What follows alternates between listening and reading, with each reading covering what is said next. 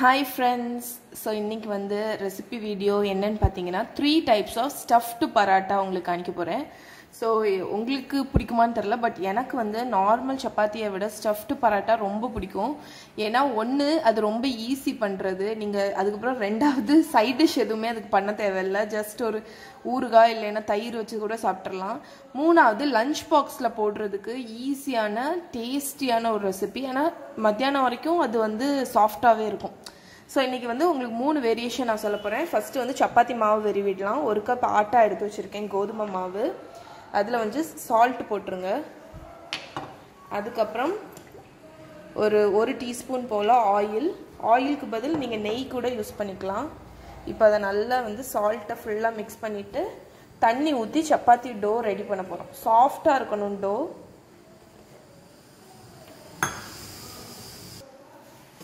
So இப்போ நான் chapati dough வந்து நல்லா ரெடி பண்ணியாச்சு. நல்லா பிசைஞ்சாச்சு. ஒரு ட்ராப் ஆஃப் ஆயிலை ஊற்றி நம்ம இதை வந்து நல்லா இப்படி ஆயிலை வந்து கோட் பண்ணி வச்சிடலாம். இப்போ வந்து இந்த சப்பாத்தியை வந்து ஒரு மூடி போட்டு மூடிட்டு ஒரு அரை மணிக்கூர் ஊற வச்சிடலாம். இப்போ ஃபர்ஸ்ட் ஃபில்லிங் வந்து ஃபஸ்ட்டு பண்ணக்கூடிய பரோட்டா வந்து cheese paratha chilli cheese paratha. இதில் வந்து நான் மாசரலா சீஸ் துருவுனது எடுத்திருக்கேன். அதில் வந்து ஆனியன் போட்டுக்கோங்க. கொஞ்சம் கொத்தமல்லி கீரை. கொஞ்சம் பச்சை மிளகா. அதுக்கப்புறம் சில்லி ஃப்ளேக்ஸு சால்ட்டு ஸோ இவ்வளவும் போட்டு நல்லா மிக்ஸ் பண்ணிடுங்க ஸோ இதுதான் ஃபர்ஸ்ட் ஃபில்லிங் இப்போ நம்ம வந்து இதை வச்சு பரோட்டா பண்ணிடலாம். இப்போ இந்த சில்லி சீஸ் பரோட்டாக்கு வந்து நான் இந்த சீஸ் மிக்சரை வந்து நான் எல்லாத்துலேயும் ஒன்று தான் பண்ண போகிறேன் உங்களுக்குன்னு செஞ்சு காணிக்கணும்னு சொல்லி தான் நான் பண்ணுறேன் ஸோ இப்போ இதில் வந்து டோ இவ்வளோ இது ஃபில்லிங் இவ்வளோ வந்திருக்குல்ல இதை விட கொஞ்சம் குறைவாக தான் நீங்கள் வந்து சப்பாத்தி டோ எடுக்கணும். ஸோ சப்பாத்தி டோ வந்து இந்த சைஸ் ஸோ அப்போ தான் வந்து உங்களுக்கு வந்து ஃபில்லிங் வந்து ஜாஸ்தியாக இருக்கும். டேஸ்ட்டும் நல்லாயிருக்கும் ஸோ ஹோட்டல்லலாம் உங்களுக்கு ஃபில்லிங் ரொம்ப குறவாக தருவாங்க. ஆனால் வீட்டில் நம்ம பண்ணும்போது நிறைய ஃபில்லிங் வச்சுட்டு கொஞ்சம் டோ வச்சு பண்ணலாம். ஸோ இதை வந்து எப்படி நீங்கள் திரட்டணும்னா ஊற வச்சதுனால உங்களுக்கு வந்து டோ வந்து ஃப்ளெக்சிபிளாக இருக்கும். ஸோ ஓரத்தெல்லாம் கொஞ்சம் மெல்லிஸாக இப்படி வச்சுருங்க. சென்டர் வந்து கொஞ்சம் திக்காக இருக்கட்டும். ஓகே ஸோ இப்போ வந்து இந்த இதை இதுக்குள்ளே வச்சுட்டு நம்ம வந்து ஸ்ட்ரெச் பண்ணி இதை க்ளோஸ் பண்ணிடுவோம்.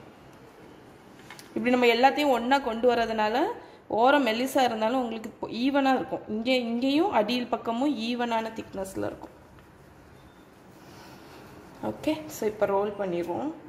இந்த சில்லி சீஸ் சாண்ட்விச்சில் வந்து உங்களுக்கு வந்து ஃபில்லிங் எதுவுமே வெளியவே வராது. ஸோ இதை ரோல் பண்ணுறதுக்கு நீங்கள் ஒன்று மாவு தொட்டுக்கலாம். இல்லைன்னா வந்து ஆயில் விட்டு ஆயிலில் ரோல் பண்ணலாம். நான் இன்றைக்கி மாவு தான் தொட போகிறேன்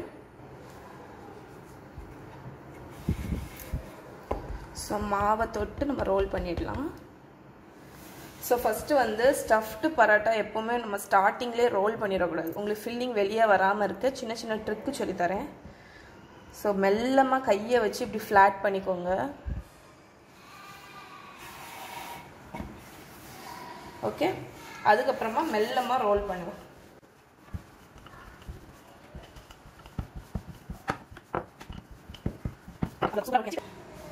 ஸோ இப்போ இதில் மெல்ல சப்பாத்தியை போட்டுடலாம் போட்டுட்டு ஃபஸ்ட்டு வந்து மேல் பக்கம் வந்து கொஞ்சம் வேகணும். உங்களுக்கு வந்து இந்த டோவாக இருக்கிறது கொஞ்சம் வெந்த மாதிரி தெரியும். அதுக்கப்புறம் நம்ம ஃப்ளிப் பண்ணிக்கலாம். இப்போ நம்ம இதை ஃப்ளிப் பண்ணிடலாம். ஸோ ஃப்ளிப் பண்ணதுக்கப்புறமா கொஞ்சம் நெய் இல்லைன்னா ஆயில் யூஸ் பண்ணிக்கலாம் நீங்கள்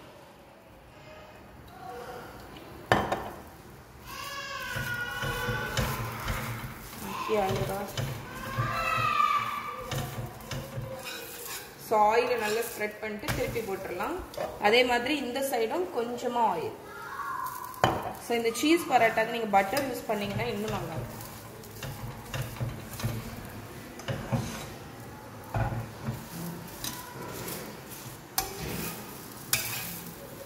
இப்போ திருப்பி திருப்பி போட்டு ரொம்ப திருப்பி போடாதீங்க. அது நல்லா கோல்டனாக ஆகிற வரைக்கும் ஃப்ரை பண்ணி எடுங்க.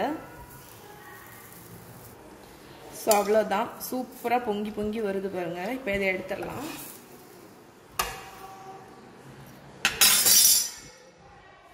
ஸோ நம்மளோட சீஸ் பரோட்டா சூப்பராக ரெடி ஆயிடுச்சு பாருங்கள்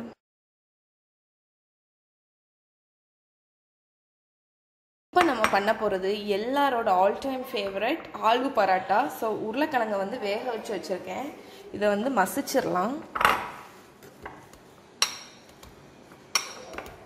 ஸோ உருளைக்கிழங்கு மசிச்சாச்சா?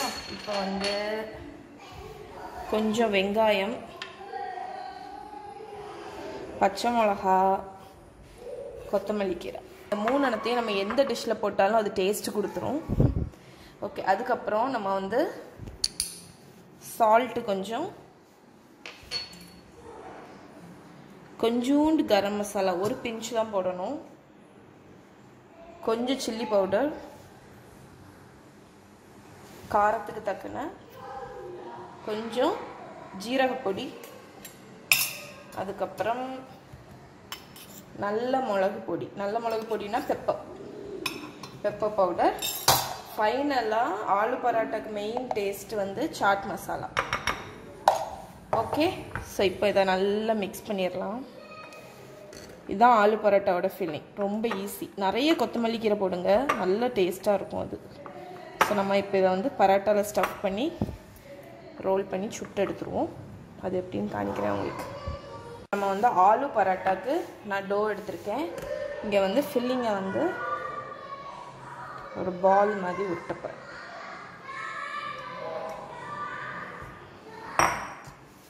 ஓகே ஸோ இந்த மாதிரி போர்ஷனில் வச்சு நான் இதை ஃபில் பண்ண போகிறேன் எப்படின்னு காணிக்கிறேன் ஸோ இப்போ இதை வந்து சேம் ப்ராசஸ் ஓரம் வந்து மெல்லிஸாக இருக்கணும்.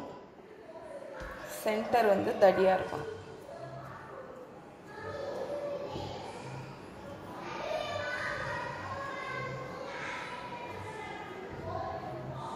இப்போ இந்த ஃபில்லிங்கை நம்ம சென்டரில் வச்சு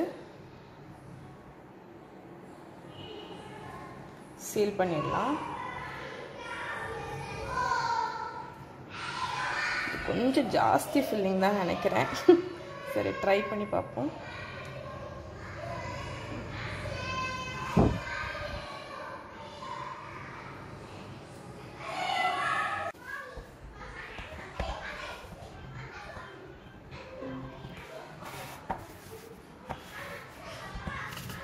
ஸோ இதை வந்து ரொம்ப ப்ரெஷர் கொடுத்து திரட்டாதீங்க. கொஞ்சம் மே லேஸாக அப்படியே திரட்டுங்க.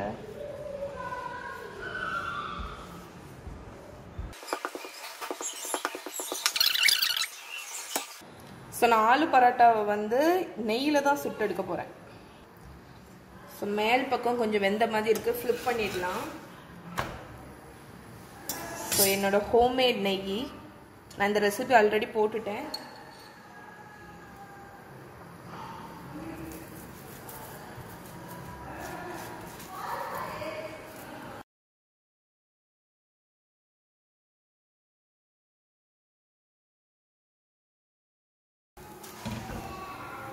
ஸோ ஆலு பரோட்டாவும் ரெடி ஆயிடுச்சு. எடுத்துடலாம்.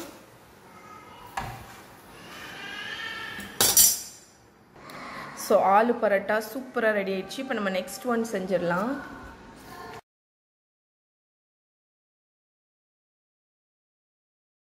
ரைஸ் பரோட்டா. ஸோ ரைஸ் வந்து வேக வச்ச ரைஸ் வந்து கொஞ்சம் எடுத்திருக்கேன். இதில் வந்து கொஞ்சோண்டு சில்லி பவுடர் இதை வந்து மசாலா மாதிரி பண்ண போகிறோம் இதில் கொஞ்சம் ஜீரக பொடி அதுக்கப்புறம் இந்த ரைஸுக்கே main flavour chaat masala powder கொஞ்சம். அதுக்கப்புறம் ஃபைனலாக கொஞ்சம் பெப்பர் பவுடர் இதுக்கப்புறம் இதில் ஃப்ரெஷ்ஷாட்டு கொஞ்சம் ஆனியன் கொத்தமல்லி கீரை பச்சை மிளகா ஸோ நீங்கள் வந்து இதில் கேரட் கூட துருவி போட்டுக்கலாம். சால்ட் மெயினாக போடணும். சால்ட் இங்கே என்ன இருக்கு? ஸோ தேவைக்கு தக்கன சால்ட்டு இதை நல்லா மிக்ஸ் பண்ணிடுங்க சால்ட்டு கொஞ்சம் கம்மியாகவே போடுங்க. ஏன்னா வந்து சாட் மசாலாவில் சால்ட் இருக்கும் உங்களுக்கு. ஓகே இப்போ இந்த ஃபில்லிங் வந்து ரெடி ஆயிடுச்சு.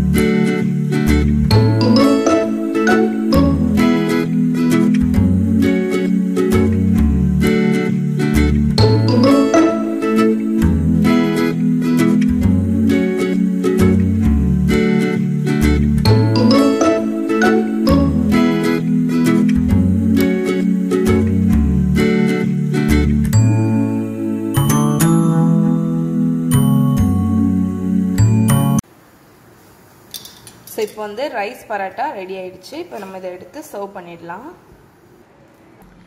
ஸோ நம்மளோட த்ரீ டைப்ஸ் ஆஃப் இதுவும் ரெடி ஆயிடுச்சு.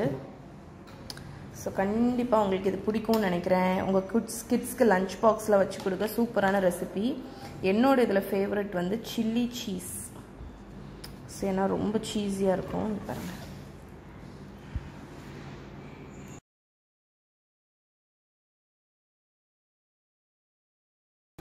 ஸோ நீங்கள் கெச்சப் கூட வச்சு கூட சாப்பிட்லாம். ஆலு பரோட்டா வந்து தயிர் கூட வச்சு சாப்பிடுங்க ரொம்ப நல்லாயிருக்கும். ஸோ ஃபில்லிங் நிறைய வச்சுருக்கிறதுனால டேஸ்ட்டாக இருக்கும். அதுக்கப்புறம் ரைஸ் பரோட்டா வந்து ஒரு டிஃப்ரெண்ட்டானது அந்த டேஸ்ட் ரொம்ப நல்லாயிருக்கும்.